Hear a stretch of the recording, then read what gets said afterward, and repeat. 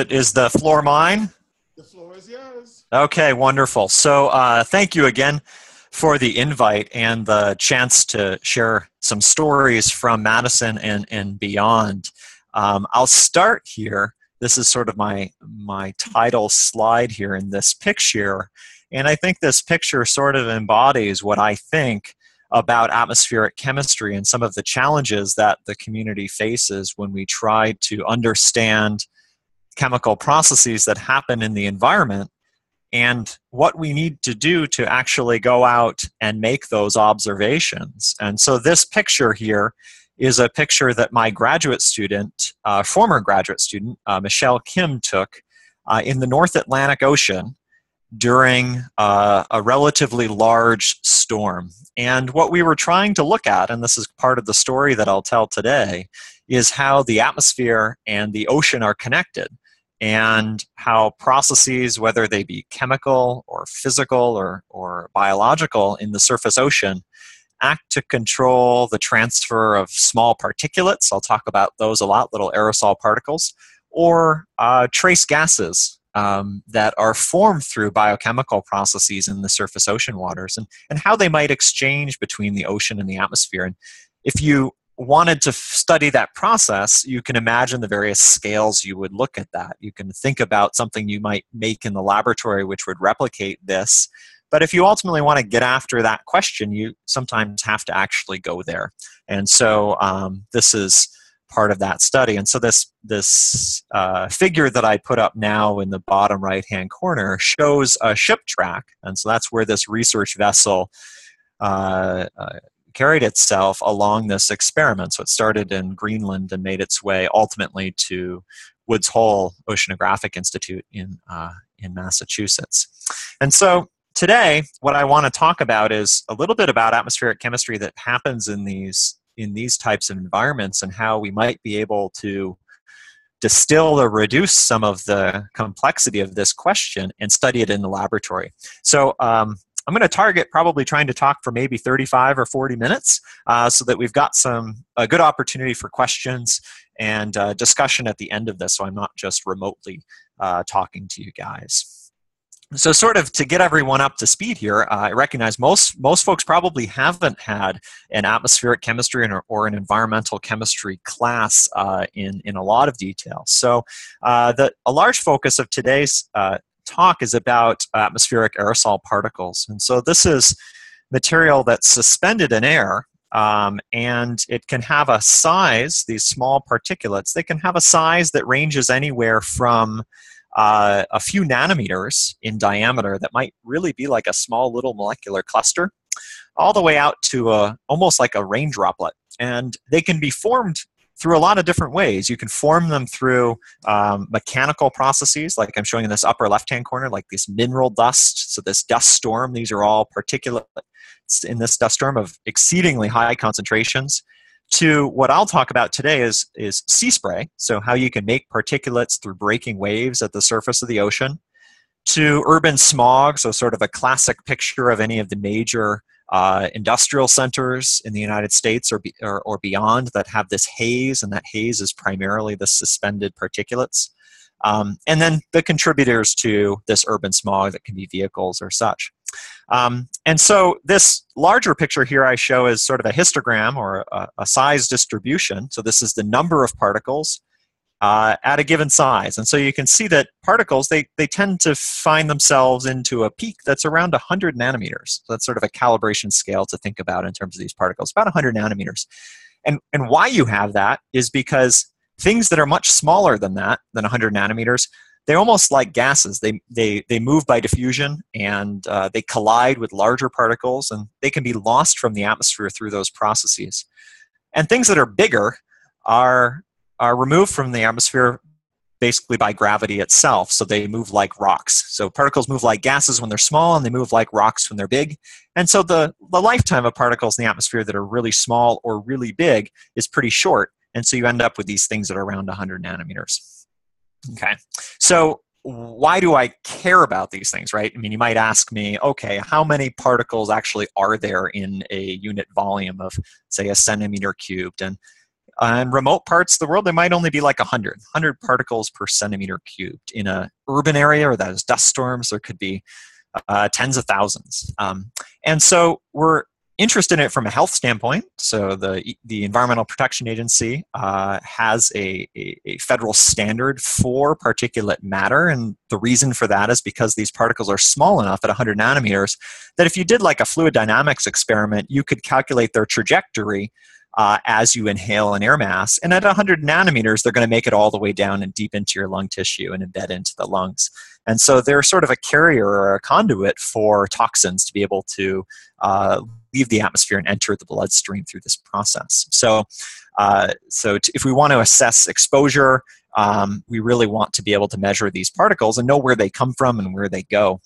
Um, on top of that, the World Health Organization um, uh, in 2004, they, they claimed, and this was not our study, but the World Health Organization says about one in eight total global deaths is a result of air pollution exposure through some process, right? And that could be, of course, it leading to uh, the enhancement of, of a, uh, another disease. Um, but this understanding uh, aerosol particles and some of these other toxins in the atmosphere, of course, is of, of increasing importance, especially globally. So that's one reason. Um, the other reason we're really interested in particles is because, sort of from that picture I showed two slides ago, I'm going to move back here this urban smog or even this vehicle exhaust is what you can see is that the presence of the particles acts to attenuate or scatter light. And that's important in the context of climate because if there are a lot of particles out there, they can scatter solar light, so solar radiation from the sun back to space, and that changes the uh, radiation budget for Earth. But the other thing that they can do is that they can actually act to change the formation and the lifetime of clouds. And that's a really important process that aerosol particles play is that they serve to nucleate clouds. And I can so, sort of have a lot of text here and we can talk about text, but one of the most interesting ways you can see that is this picture on the right. Um, and uh, this picture here, uh, you know, it's not important where exactly it is, but the blue that you see underneath these white clouds is the ocean and you see these white stripes here right? Here's a here's one here there's one there.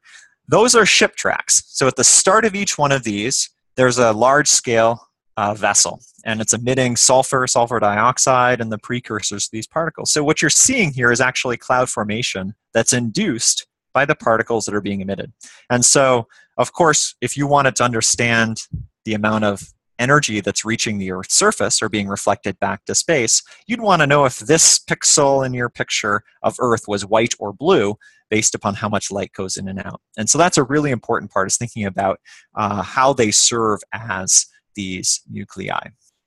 Okay, so what I'm going to talk about today is, is the surface of the ocean. And uh, there's a lot of reasons for doing this. Uh, one is that about 70% of Earth's surface is covered by oceans. Um, the second is that there are not many measurements over the oceans. So, as, a, as an experimentalist that is interested in measuring things through field observations, it's, it's a challenge to get out into the middle of the ocean if it's the Atlantic, Pacific, or Southern Ocean. And so, the measurements that we have to constrain a model or constrain uh, a mechanism are, are usually much more sparse. Um, the third point here is that there's a large contrast in color between an ocean surface and a cloud, right? So this deep blue color of the ocean and this white of the cloud. So in terms of the amount of sunlight that might be reflected, there's a there's a large impact if you have a cloud there or not. Um, and then the last one is that if we really want to understand the impact of things like human activities on climate, we want to understand what climate was like before we started to influence it. And so we want to think about things like what, what did clouds look like over the oceans before we started building large scale cities and things like that. Okay, so this picture here, um, what I'm trying to highlight here is I, I'm coming back to the same graph here, which was number of particles versus their size, this little black line. And what I ultimately want to know is how do particles get there? So, what might be the source of those particles from the ocean? How fast might they go back to the ocean? How might some particles be transported into this maybe view box over the ocean from another source, or how fast are they removed? And then, are there any really interesting chemical processes that might serve to change how big a particle is, right? Are there reactions that can sort of chew away, chomp away that particle? Um, or are there processes that might add mass to that particle that change the shape of that thing? So those are sort of, in a, in a grand scheme, what we ultimately want to know. You want to get to a chemical mechanism, you want to get to a production rate or a loss rate for things that you could put into one of these large scale chemistry or climate models. Okay, so for, for my talk here, for the next uh, little bit here, I have a, a, couple points that I want to try to look at. Um, one is I, I want to ask this question about basically how big are sea spray aerosol particles? And uh, it looks like I got cut off here. This, of course, what? What factors might impact this? Um, what fraction of sea spray aerosol particles can nucleate clouds? So, is a particle that comes off the ocean surface is that something that's really good at, at making a cloud? um, just based upon what the chemicals are in that particle, or is it not very good? How would we measure that, or how would we know that? And then the last thing we'll talk a little bit about, if we have time, are, are some of these trace gases that come off the ocean surface, right? So for those of you, you know that spent time near the oceans, there's a smell of the ocean, right? You can kind of smell the ocean. That's that molecule you're smelling is dimethyl sulfide. It's a it's a pretty strong, uh, strong scent even at relatively low concentration. So, what, what do things like that that come off the surface of the ocean? What do they do when they're oxidized uh, in time? Okay, so just as a sort of a starting place for this, h- how are these particles made, and why might somebody that's a chemist be interested in this, given that what most of us know is that the ocean is salty? So maybe just sea spray particles are salty, right? Well, what's interesting about sea spray and the way in which it's made um, is that it's it's a reflection of the chemical composition of the surface ocean water itself. And when I say the surface ocean, I'm really talking about the top millimeter or even uh, smaller than that. Um, because what's happening during the formation of these sea spray particles is you normally have a wave that breaks in the open part of the ocean and it entrains air into the surface ocean, creating a small scale bubble plume.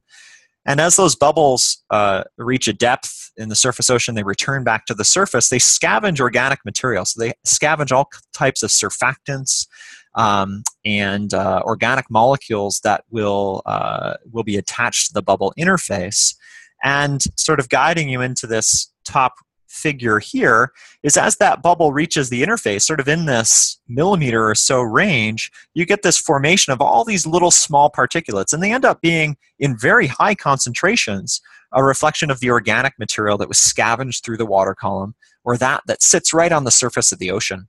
And so these particulates that are formed through that bursting of that little film cap, sort of like what happens uh, in your kitchen sink or what happens in the bathtub, right? When you have a, a film that uh, that um, that builds up, is those little particles that burst. They end up being really rich in organics. And then, as a second step, sort of similar to what you might see if you see raindrops impacting on a puddle or raindrops impacting on a lake, you often see this little jet recoil, right, that comes from the base of that um, of that open capsule. And those things are more a reflection of the bulk ocean. But what's neat about this is you can you have a way to make small particulates. So these things, when they're little droplets, they might be you know microns in diameter, and then they evaporate the water and they become really small in size. And you can make really big droplets as well.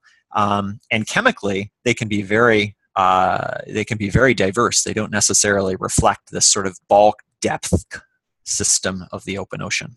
Okay, so that's sort of the first step is that how do you make these aerosol particles from breaking waves?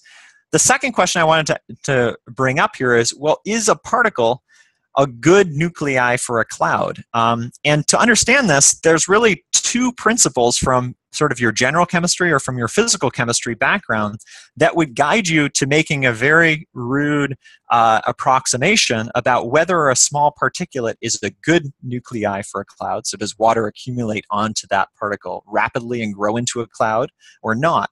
Um, and the first one has to do with how big the particle is. And this has, is related to uh, the Kelvin effect. And this is that the vapor pressure over a curved surface is higher than that over a flat surface. So if you have a really small particle, it's actually hard to put water molecules on that. It's hard to grow up that, that particle, as opposed to a really big particle that that surface, um, the vapor pressure over that um, can become a little bit lower. So, in general, really small particles, things that might be tens of nanometers, they're not very good cloud nuclei. They want to be bigger than that. The second thing is right from general chemistry as well is Raoult's law, and that uh, tells us that the vapor pressure of water depends on the number of soluble moles that are in the system. So particles that are made of insoluble material, they're not very good uh, cloud nuclei. Things that are made of very soluble things like salts, like sodium chloride or ammonium sulfate, they're really good. They're really good at being cloud nuclei. So sort of the bottom line of this applications of some general chemistry or physical chemistry things into atmospheric chemistry is that large aerosol particles that are composed of soluble material like maybe sodium chloride, they're really good cloud condensation nuclei. Small ones, not so much. And so when we start to get into this question of what is a sea spray particle, we want to know how big they are and we want to know what they're made out of to assess whether or not they'd be good at making a cloud or not. Okay. And so, how do we ask that question? And so, I introduced this talk showing some fancy pictures of us out in the middle of the ocean and um, how we can learn from being out in the middle of the ocean. And it, it turns out that sometimes in the in the modern era here, going into the middle of the ocean, even if you go into the middle of the Atlantic Ocean, even if I you know take a research vessel and I go right out here, it's it's really hard to get away from pollution. And the time that it takes for air pollution to move from here, Madison or so, um, uh, out into that middle of the ocean, um, it's it's actually not that long on these sort of horizontal transport times, right? So if you even were to take a research vessel and go out into the middle of the Atlantic and you were to sample some of these particles, um, it's hard to say that they're just from the ocean surface there because the lifetime of some of those particles in that size of 100 nanometers could be about a week. Um, and so those particles they can go around the northern hemisphere in almost two weeks. So even if you went to the middle of the North Atlantic um, you might just be sampling things from the East Coast. Um, so one of the things we we think a lot about in in our group is thinking about how we can replicate these processes in the laboratory. And so, sort of as that first step, this is this is a laboratory experiment. so this is what I think about as a laboratory experiment. This is a, a wave channel, and it's actually linear. The picture here that shows this sort of curve is an artifact of the of the picture. Um, and this is this wave channel is a way of generating a breaking wave in ocean water in the laboratory. So we can change all the different parameters and we can study exactly what those particles look like, how big they are, what they're made out of, and we can assess whether or not they grow to be a cloud nuclei in a controlled setting. So let me just sort of guide you through this. This is at the Scripps Institution of Oceanography. Um, and so this is in uh, this, this line here is probably less than half a mile from the ocean. And it's actually, there is uh, one of the interesting features of Scripps Ocean uh, Institution of Oceanography is that you have tap water, but you also have seawater. So you have a tap of seawater. And so you can actually fill up these large scale tanks with seawater. Um, and so this is right on that pipeline. And so the ocean water gets filled into this tank.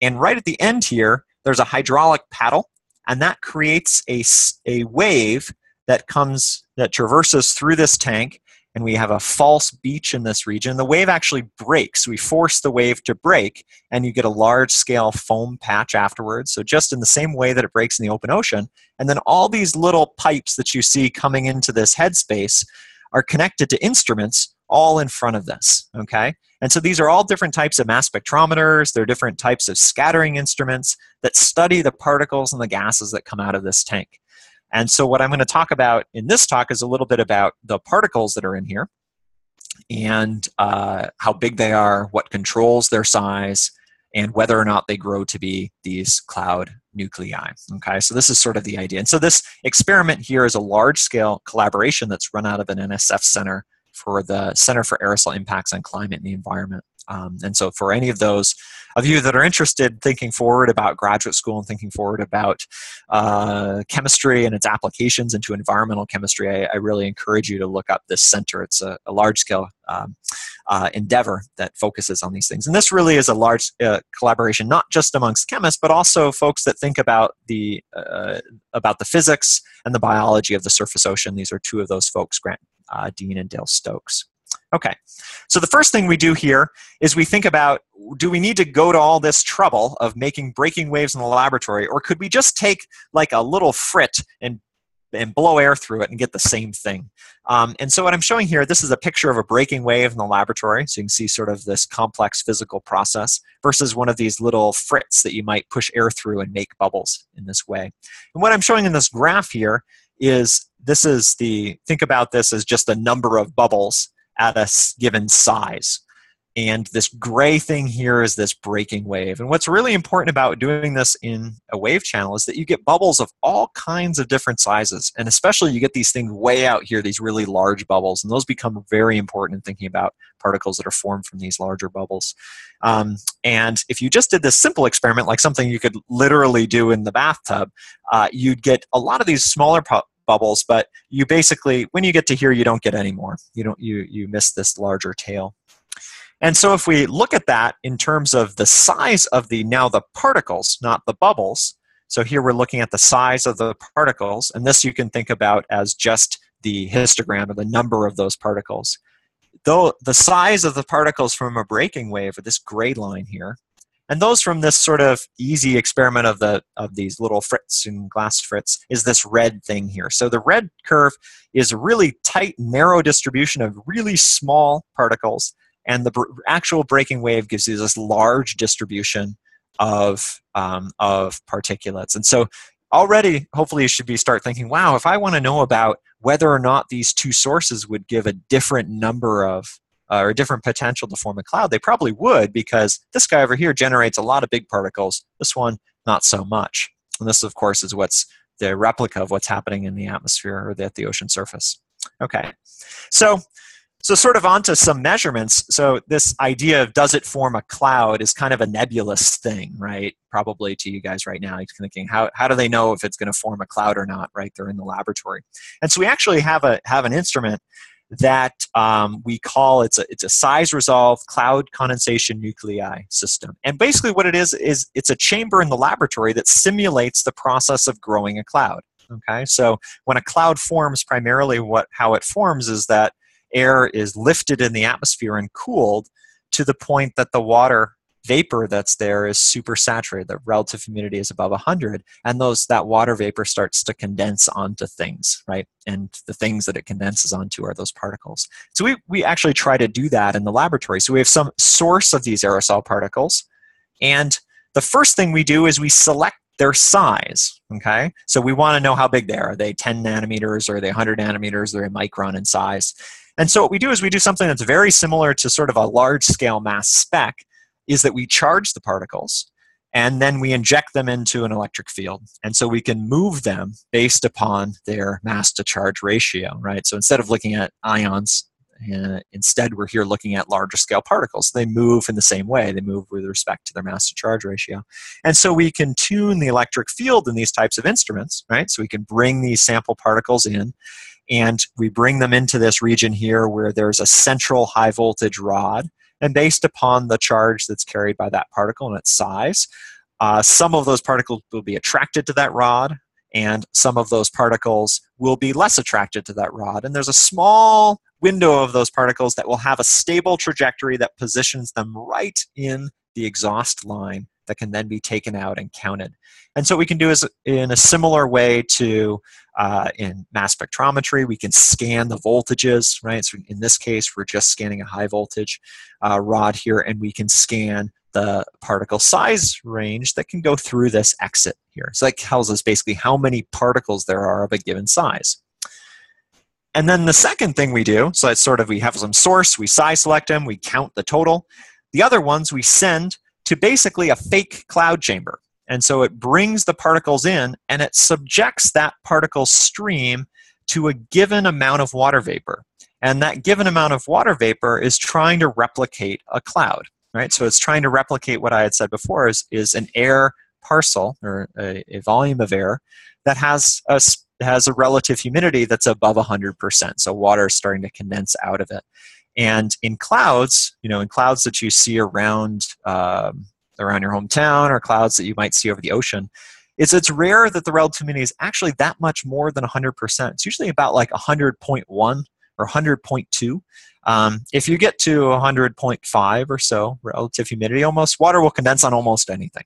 Okay, so it's there are very subtle changes in that. We call that a supersaturation. We call it above 100% as a supersaturation.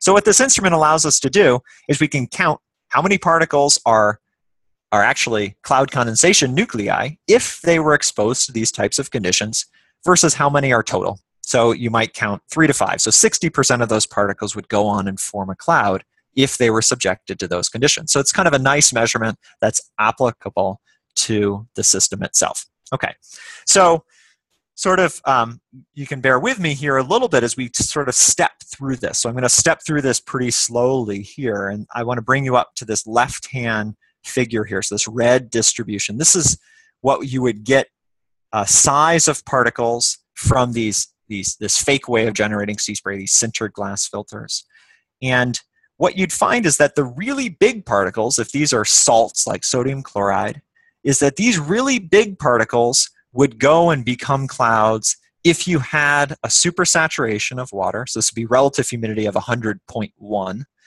is that anything that was bigger than about 115 nanometers, that would activate to be a cloud, okay?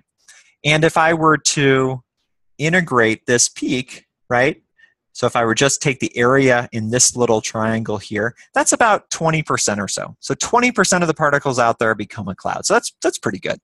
If I had a wetter condition, so if it was 100.2% relative humidity, that number goes down. So all the particles that are um, 66 or so nanometers in size or larger can become a cloud, right? Because there's just more water vapor, so you can overcome those competing Kelvin effects that we talked about before. So it's basically the area under here. And that area is about 40 or 50% or so. So as you increase the amount of water that's available, you can increase the number of particles that would grow to be a cloud droplet. So eventually, if you get to really, really wet conditions where it's 101%, even very, very small particles would activate to be a cloud. Okay, so that's sort of what we're interested in. This axis here, x, that's controlled by the atmosphere. The atmosphere might say that in the marine clouds, this is what the atmosphere is. It's, it's rarely way out here. Usually it's down in here, maybe 0.2%. And so these particles that you would generate from a glass filter, they don't look like they're very good cloud condensation nuclei. So if you informed an entire global model that this was the size of those particles coming off the ocean surface, then you would really under represent how many of those particles would go on and serve as a cloud nuclei, as opposed to this gray thing here, right? Those particles are much bigger, right? So the, the fraction of the area here that's above that critical diameter becomes a lot, lot bigger, right? And so the sort of the first conclusion here about size of the particles is it really matters how big these particles are. And, and if you want to replicate a, a challenging environmental condition, you really need to replicate the whole physical process uh, alone. So this uh, picture here, sort of that first conclusion there is that that um, we want to know what the size of these particles are, and that actually has one of the biggest effects on the uh, cl- uh, cloud formation in marine environments. Is just basically how big those particles are. Okay. So the second thing someone might think is okay we just did this nice experiment just about the size of the particles right just from salts it was just from sodium chloride itself we didn't talk about whether or not those particles were composed of different things, right? And so, what's really neat about this wave channel is that we can then take that water from the ocean and we can do a large scale biology experiment in it. So, we can grow up phytoplankton cultures within that wave channel. and We can change the chemical composition of the surface water, and we can look to see whether or not the number of particles that come out of the ocean change in response to that. And that would be a really interesting number to know, right? If large scale algal blooms in the surface ocean change the number of particles formed. And you might be able to uh, rationalize that, right, when you're when you're in the uh, when you're doing your dishes, right, and you add soap to the um, to the reservoir to the to the sink, you get a standing foam, right? And we know that that standing foam is a result primarily of the surfactant molecules in soap. And so the foam is stabilized by those surfactants. And a similar thing may happen in the ocean, right? You have a, a, a large scale phytoplankton bloom that may go on to form all kinds of lipids and things like that that could have a similar effect. And so it's an interesting question to ask is do large scale phytoplankton blooms in the ocean change the number of particles or the size of those particles? And so this sort of, uh, this figure here is a figure in time. So uh, the x-axis here is just time in days, and this is from that wave channel experiment. And this orange line here, so starting with that, is the chlorophyll concentration in the water. So you can see it's pretty variable and it sort of plummets down here. And then a, a, phytoplankton bloom grows in, and this thing goes off scale. It actually switches axes here and goes even further off scale. So this is basically what happens oftentimes in the open ocean is that you have these large scale cycles in phytoplankton. You actually can observe that from space. You can measure ocean color from space and get a handle on these things. And so what we wanted to do was to look at whether or not the size of the particles changed or if the number of the particles change during this really large scale event in chlorophyll. So you basically be looking at what is the size of particles here and the number of them versus the size of the particles here and the number of them. This would be a really extreme algal bloom in the ocean. And this colored figure here is again time and y-axis of size of those particles. They're all kind of falling in this 100 to 200 nanometers. And the color is how many particles there are. And what you see from this figure is it's it's it's almost insensitive to this change, both in terms of the number of particles that were formed and the size of those particles. And so one of the major conclusions from this was that the particle concentration and the, and the diameter of those they they they're they're really insensitive to these changes in the concentration of things like chlorophyll in the water. So the initial size is very important in describing that accurately, but it doesn't vary a whole lot in places that you go. Okay.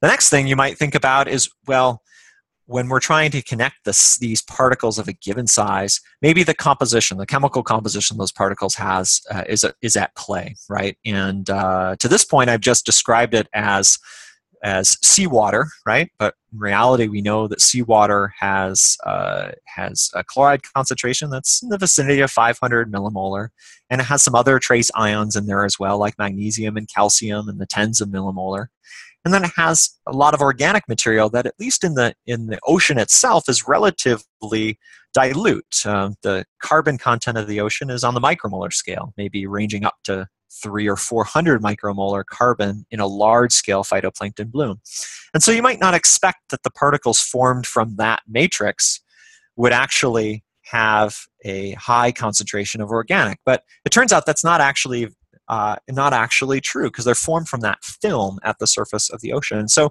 this picture here, this is a microscopy image here, and um, this is an X-ray microscopy image here. That's um, a scan and tunning X-ray microscopy image that allows us to look at the carbon uh, content of individual particles. So each one of these individual little blobs here is a sea spray particle. These are these are primarily in the size range of a couple hundred nanometers. And what we're looking at here is just the carbon. And so you can see some of these particles have these really thick carbon rings. You know, this is just the carbon, so it's likely a carbon, oxygen, hydrogen, nitrogen matrix there. And then on the inside, uh, there's not a lot of carbon. This one you can actually see almost is square, showing you that it's probably that's the sodium chloride uh, uh, cubic uh, structure that's right inside there. So these particles, they're mixtures of, of sea salts, but also with these organics. And sort of the question is, what do these organics do? I, I, told you the second part of that cloud formation story was Raoult's law, right? So what happens if you add in some insoluble organic material? And so you can go through and you can measure the types of molecules that show up. So the first picture there was just looking at the carbon content, but you can take these particles and you can do some mass spec on them and look at some of these individual components. And you find that they're rich in, in all kinds of different small molecules to large molecules. They're dense in sugars and sterols and lipids and proteins and even larger scales, scale things like lipopolysaccharides. Um, and so the question is what, what impact does the composition of these organic films what does that have on the ability of a particle to uh, to take up to take up water and act as a cloud nuclei. nuclei. Okay, so we can do this experiment as well. We can do this in a couple different ways. Uh, we can do this in the wave channel, right? And we can go out and we can measure this. We can measure the, the number of CCN, and we can measure the number of these total particles and actually make that determination like what I was showing in those figures. We can do that in our wave channel. We can also do these in these these tanks that simulate wave breaking process as well. It sort of is a recirculating, plunging um, waterfall in each one of these. We can also go out into the open ocean itself and do something very similar to this. This here is uh, an instrument that's operated by, uh, by NOAA in Seattle and by Trish Quinn and Tim Bates up there. And what they do is they take this thing, they call it the sea sweep, and there's some hoses connected to this thing, and they float this off the edge of a boat, and they basically have this process here, these, these plunging sheets into the surface ocean itself and try to catch the particles that are formed through that. So you can go in these, these various different pathways and move far beyond just looking at just salt and see what effect this has. Okay, so um, Okay, so we'll skip right to this uh, conclusion. So this is the same type of plot that I showed before here. So when thing when the air mass gets really wet here, almost everything grows up to be a particle. And uh, down here, where you have a range of actual relative humidities of the clouds, fewer things happen that way. And what you find from this is if you generated something from pure salts, this dashed gray line here all the way at the top, that's what we found in that first experiment I described. And then as you made things more complex by either doing these really uh, high concentrations of chlorophyll and this phytoplankton bloom, or actually going out into the open ocean and measuring particles born at that interface, you find that the effect of the chemistry acts to lower it a little bit. That's what you would expect, right? That's the, the Raoult term there. But it doesn't lower it that much. Okay, so the f- effect of the chemical composition of the particles, that's around 20%. So even if you get into a large scale phytoplankton bloom, you might expect there to be a little bit of a reduction in that, but perhaps not be a driving factor. Okay, so those are sort of the, the first two things that I talked about. I talked about two things in those, uh, uh, those opening slides. I talked about whether or not the size of a particle born from the surface of the ocean mattered? And the answer is, is, is yes, it matters how big those particles are, and that's due to that Kelvin effect, so the vapor pressure over a curved surface over, versus that over a flat one. And the next thing I talked about was whether or not the chemical composition mattered, and the answer was yes, but subtle. Okay, so uh, as as an atmospheric chemist, we we spend a lot of time talking to larger scale researchers and thinking with them about whether or not the processes we might describe in the laboratory can be captured through satellite measurements and things like that. And so if you go into the literature and you look at you look for these types of relationships so the impact of ocean chemistry on clouds the first thing that somebody from the satellite community might try to look at was they'd take an x-axis here which is the chlorophyll concentration of the ocean so that's sort of a measure of the biological activity of that surface water. And they looked to see if the cloud drop number, so the number of cloud droplets, changed with that, uh, that, um, that dependent variable. And so a couple hypotheses could be drawn from this, right? You could say from one, you could say, well, the measurements that you know that uh, Dr. Bertram just talked about is he said, well, if you change the amount of chlorophyll, the number of particles and the and the size of those particles doesn't change all that much. So maybe you'd expect this to be a flat line. That would be a good hypothesis. Um, the second one you could say is well, uh, he also told us that if you increase the chlorophyll concentration, that those particles have more organic material, and that impacts that Raoult term. So so maybe the number of particles actually goes down as you increase the as things become more biologically active. And so it's, of course, a surprise and of interest when the measurements from satellites over the open oceans give you a relationship that looks something like this, where the number of droplets, cloud droplets, actually increases very strongly with the concentration of chlorophyll in the surface ocean. Um, and so this is sort of the second part of the talk. So I'll sort of hope I'll spend the next um, uh, maybe 10 minutes talking about this is how, how does how, how can we explain this type of picture or what might be some of the factors that go into this type of relationship based upon not just the particles themselves that are formed but maybe some of those trace gases that come out of the ocean themselves and how might we look to address that okay so i'm going to come back to this slide here that i started with. This was this this this number of particles and the size of those particles. And beforehand i had all these arrows saying particles are formed at the surface of the ocean and they're lost to the surface ocean. Particles come in maybe from pollution and they're blown out of the box. And there's some chemistry that happens. And now what I'm looking at now is it's not just particles formed at the surface of the ocean. There's all kinds of trace gases, like that dimethyl sulfide molecule that you smell as being the, the signature of the ocean. And those are emitted into the atmosphere and they're oxidized. And what happens to them when they're oxidized? Do they do they start adding uh, when they're oxidized does their vapor pressure change and do they start to condense out onto this distribution or, or what, what really happens to that what do we know um, and so that's the the third part of this talk okay so this question comes back to um, uh, science that, that's been talked about since the mid 80s and primarily been talked about in the context of one molecule. And that one molecule is, is the molecule I've been referencing throughout um, our discussion today, dimethyl sulfide. And the focus of that, of course, has been because it's what you smell. Um, but we know, of course, through uh, studies of biochemical mechanisms and, and processes that are associated with phytoplankton and with their degradation is that it's not just dimethyl sulfide that's formed. There's all kinds of other organic uh, molecules. Many of them are not very soluble that are also formed in the surface ocean. And those are things like monoterpenes and isoprene and even sesquiterpenes, um, just as a flavor. There's lots of other components of that. Um, and when they're emitted to this to the ocean from the ocean to the atmosphere of course they're emitted into a highly oxidizing environment and they're oxidized right? So these monoterpenes you can do really interesting oxidation processes where uh, you can start to open up this ring through attack by ozone right? So those of you that have had your organic chemistry can actually draw out the formation of that primary ozonide and how that thing uh, starts to open up and ultimately start to form molecules like the these pinic acids and things like that where you conserve the central four member ring. You get these molecules that have extremely low vapor pressures um, the sulfur co- compounds, ultimately, many of those end up as sulfuric acid or methane sulfonic acid.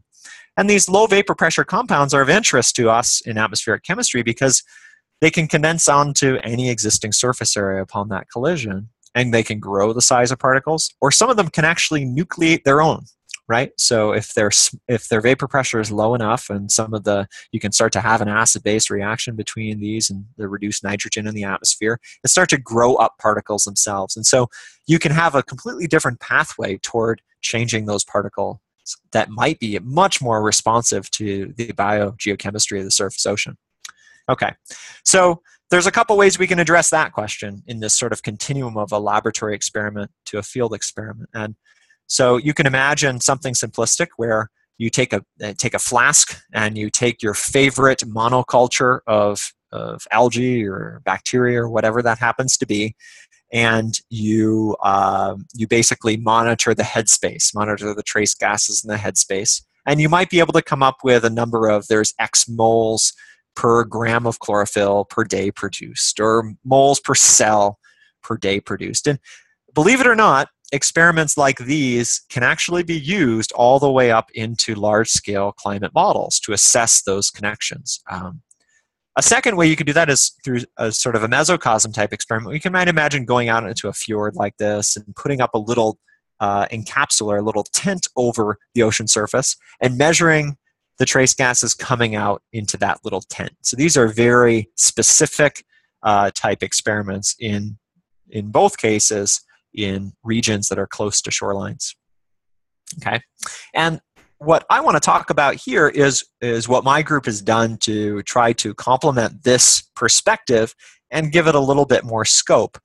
Um, and so the previous studies, a lot of them, what what you could generate from them is you could generate knowledge about what organic compounds might be formed, but it's very hard to scale up to at what rate are they emitted from the ocean surface itself.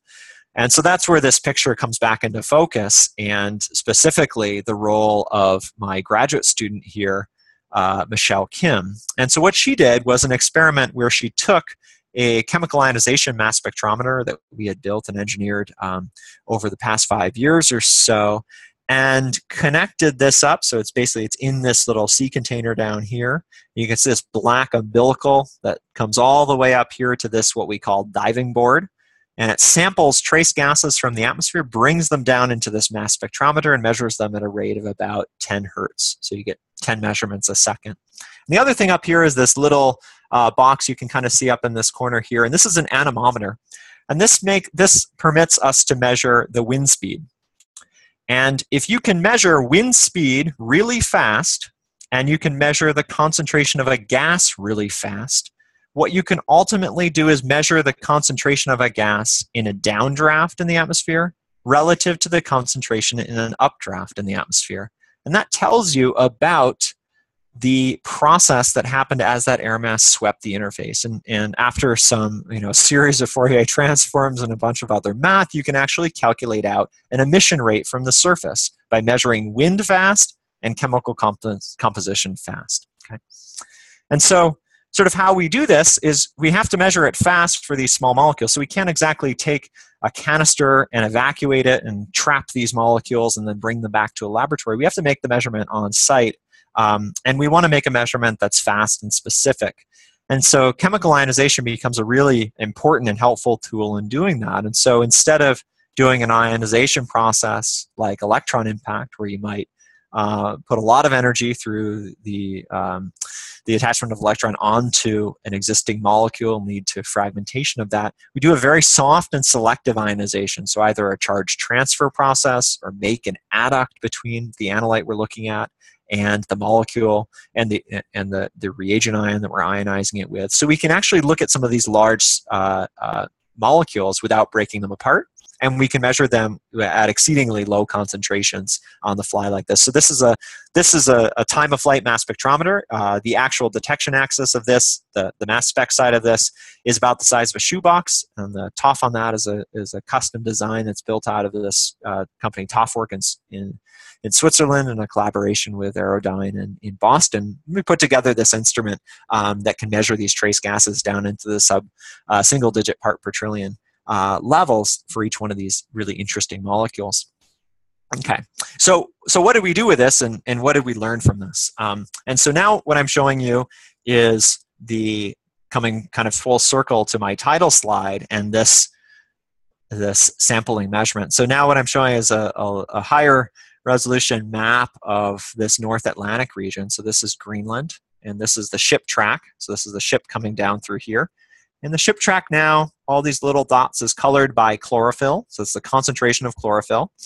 And uh, that's measured from the ship. And then some of this background coloring here is that chlorophyll concentration. That's actually measured from space and bringing us back in around the corner. And so this is the research vessel that we were on doing this. This is the RV Knorr. And so sort of that, that um, diving board was right up here and that shipping container with the mass spectrometer was right in this region here. So it kind of gives you a perspective on these uh, on these instruments. Okay, so what do we measure? One of the things that we went after this was to say, well, this the molecules coming off the surface ocean are probably not just dimethyl sulfide. They're probably all kinds of other interesting organic molecules. Um, and the short answer to this is that's exactly what you find. Is not only do, you, do we measure things like dimethyl sulfide coming out? We actually measure a, a large concentration of things like monoterpenes, so things like alpha pinene and beta pinene that have known production pathways um, from, a, from an array of, of plankton species. And we can measure the concentration of them, so you can see a couple hundred parts per trillion. And we can also measure the flux. So this is the molecules per centimeter squared, so surface area per second. And that comes from that relationship between wind speed and concentration. So you actually get a number that's really helpful for scaling to a large scale model is how many molecules are coming off the surface ocean. That's something that would be of incredible value to try to stitch these stories back together. And of course, these measurements they start to build up the uh, the array of knowledge, both concentration spaces and flux spaces for our interpretation. Um, so, what makes this molecule so neat? Why why as a chemist am i interested in looking at things like this? And the first reason here is like i said before is that things like monoterpenes their lifetime is actually quite short in the atmosphere. There's an abundance of ozone in the surface layer that can add right onto that double bond break that apart and you end up making these really low vapor pressure compounds quite quickly. Um, and those particles those low vapor pressure particles or low vapor pressure compounds they can either nucleate new particles, so you get a whole bunch more particles that could be important for cloud condensation, or they can just add mass to the existing size distribution and make those particles bigger.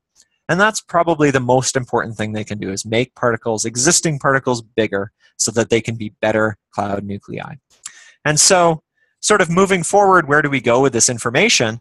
Is that we can take um, all of this type of information on the size of particles that are coming from the ocean, what they're made out of, the rate at which they're being produced from the ocean surface. And we can combine that with information on the trace gases that are coming off the ocean surface as well.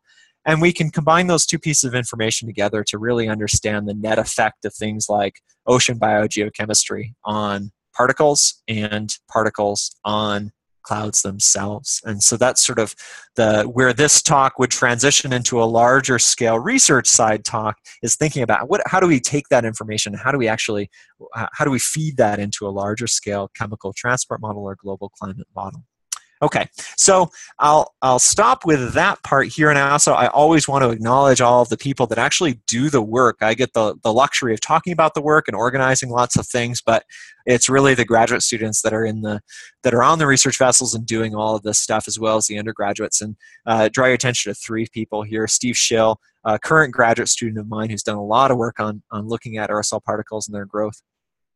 Um, this is uh, Matt Zorb, a former uh, postdoc of mine who's now faculty at Cal State San Luis Obispo, um, who did a lot of work on building some of these mass spectrometers and deploying them to research aircraft, like he's on here with Steve, or to these research vessels. And uh, Michelle Kim, who uh, is now a postdoc at Caltech. Um, and uh, did much of the field work on this. Um, and then combined with that, of course, the funding agencies that make this all possible, primarily the National Science Foundation and the Chemical Center for uh, the uh, aerosol impacts on climate and the environment. So I'll stop there. Hopefully, we've got 10 minutes or so um, to be able to have some questions or so, or a few minutes, uh, depending on availability.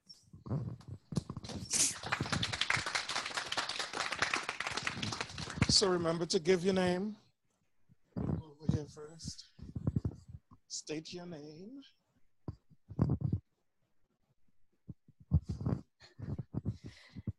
Hello, my name is Allie. I was wondering, um, do the types or sizes of the particles affect what kinds of clouds form or like where they are in the atmosphere? Yeah. Okay. So that's a good question. The uh, question of does the size, the type, do they do the particles impact the type of clouds that are formed? Um, the answer is absolutely. Um, and and the the coarse distinction I would make is between warm clouds and ice clouds. So most of what I talk about today today are warm clouds, so they're they're liquid clouds. Um, but what becomes a really interesting area of atmospheric chemistry is the formation of ice clouds and ice particles or mixed phase clouds. And the formation of ice clouds is very sensitive to the actually the composition and the structure of the of the particle surface itself. And so you're really trying to template an ice uh, an ice interface. And so you can really almost start to think about the lattice structure of ice and what at the surface would, would be a good template for that. So it becomes a very selective process, but your question is right on point in that the, the particle uh, size and composition can start to drive the types of clouds in this coarse definition of warm versus ice or cold, cold clouds.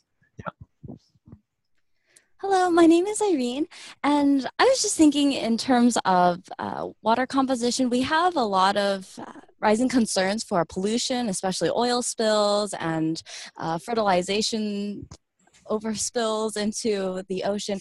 How might these affect the production of small particles for clouds?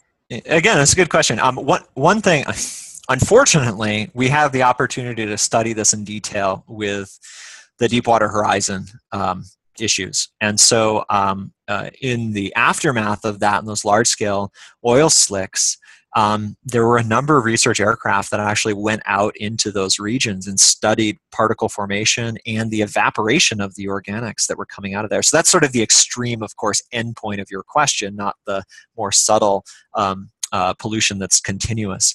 Um, and, and it has an impact, actually has a pretty large impact, uh, largely because many of the organics that get deposited through an oil slick or something like that are, are surface active, right? You see them in the, in the oil slicks. And so when you have a wave breaking event, those molecules are transported very efficiently into the aerosol phase because they're so enriched or enhanced at the interface. And so it would certainly lead to a, a change in the particle number uh, uh, uh, flux I would expect in these really dense regions. Um, but it's an interesting question, certainly something that these types of wave channel experiments are well designed to, to look into. Hello, my name is Dylan Zimmerman. I'm a little bit interested in that huge facility you were talking about um, huh? where you generate the artificial waves. Do you only look at one local sample of seawater? Like, how do you manage um, contaminants either in the air or when you go from different samples?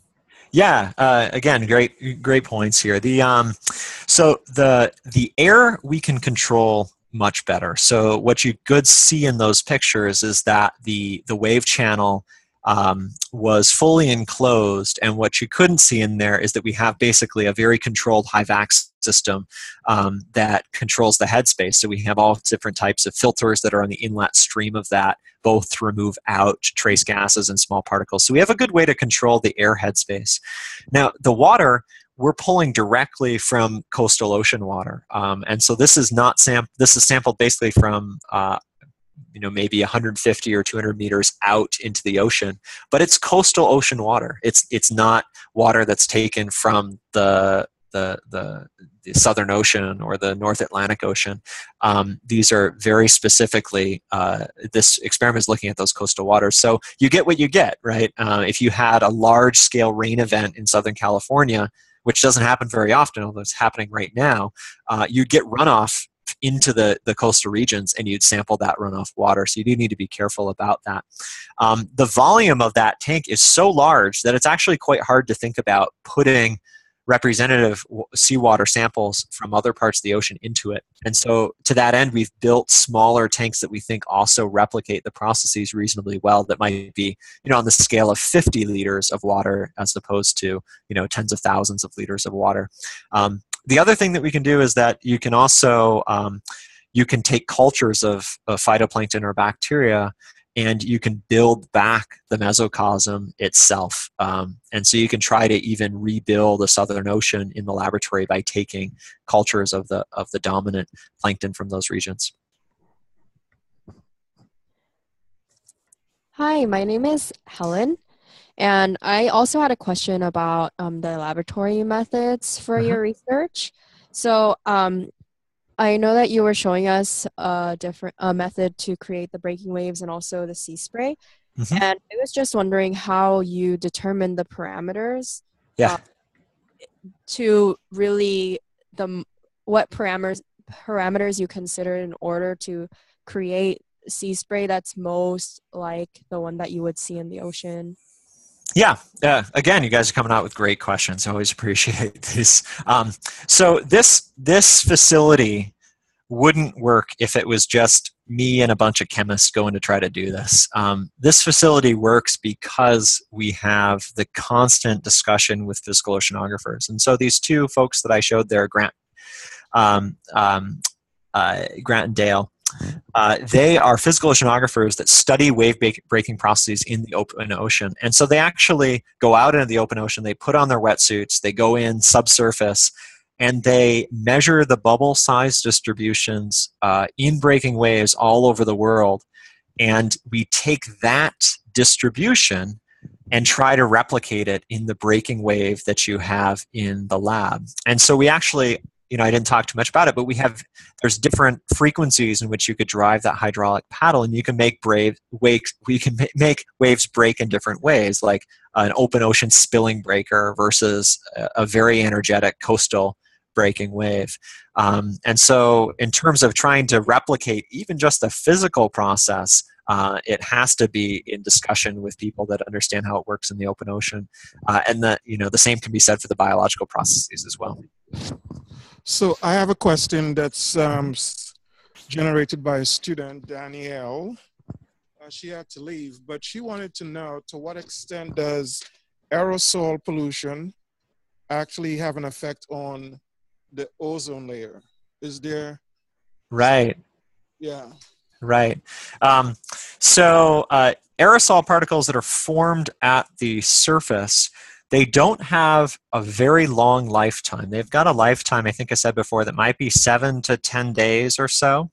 and the time that it takes for air from the surface to get all the way up to the stratosphere where the ozone layer is uh, is much longer than that. So most of the pollution aerosols that are formed at the surface don't make their way up into the stratosphere and impact those processes. Um, but of course, many of the gases that are much longer lived, like, of course, the problematic chlorofluorocarbons, the reason why they had such an impact on, on ozone chemistry is because their lifetime is sufficiently long to get them all the way up into that region. Okay. All right. Um, I don't think we have any more questions here, do we? Oh, okay, uh, just a quick question. You were showing that image of how you could see the um, clouds being formed by uh, that transport ship and the exhaust. Yeah. Um, does, does there a similar effect with um, airline um, planes and that sort of thing? Right. So, right. So, um, I mean, you, you see contrails, of course, you know, routinely, and that's that um, that is primarily looking at the, the, the water vapor condensation on that. Um, they disperse really, really quite rapidly. Um, so the persistence of these things that you see from the ships is is much, much, much longer, and the the flux of things coming out of the, the large scale ships is so much higher than what you would expect from an aircraft uh, that burns relatively clean. Most of the, the source of the particles that are coming from the ships is primarily because they're permitted to burn very high sulfur content fuel when they're in the open ocean. Um, when they come into ports, they they're by requirement they have to reduce that sulfur content, um, so that effect goes down a little bit. But in comparison to you know Jet A uh, fuel. I see. Thank you. Yep. Uh, Tim, do you have um, research summer opportunities for undergrads? Yeah, we have research summer opportunities. Uh, folks that are interested in these things, uh, we actually have a, a, a re- summer opportunity that's similar to an REU program that's through the CAICE Center. So, and I, I can send you a link to that if you'd like to distribute it. Um, and that brings, that's a program, it's about the size of an REU, 10 to 12 students, distributed to, uh, there's a number of folks that are in Madison, there's some that are in San Diego, to work on topics just like what I talked about today. Cool. Very nice. All right. Want to thank you very much. Thank you. It was a pleasure.